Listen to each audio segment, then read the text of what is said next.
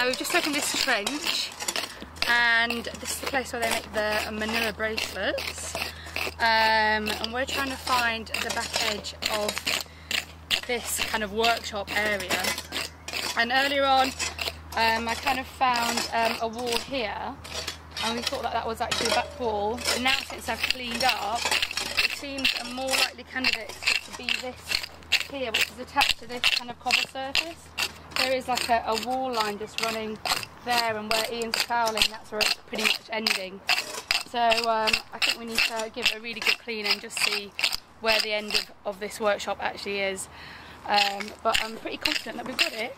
And check out the uh, club winners. not doing a bad job. I might have to use them tomorrow.